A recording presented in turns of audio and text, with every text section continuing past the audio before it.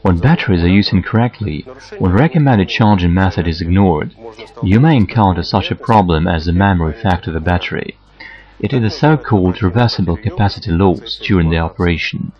The name came from the fact that when a battery is charged with incomplete loss of charges, say remembers the level it was charged to, and when operated later, it gives the incomplete charge. Nickel-cadmium cells are susceptible to this problem.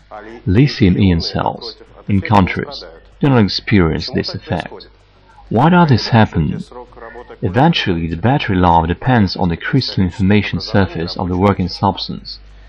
It is maximum when these structures are small. The energy stored in battery is at its maximum level. When used incorrectly, the crystals become larger, their surface area decreases along with the real capacity. It is desirable to strictly follow instruction manuals to avoid this, to fully charge and then fully discharge nickel-cadmium batteries. This is the way to train them. If the trouble has already happened, it is possible to restore the capacity in the same way. The operation should be repeated several times.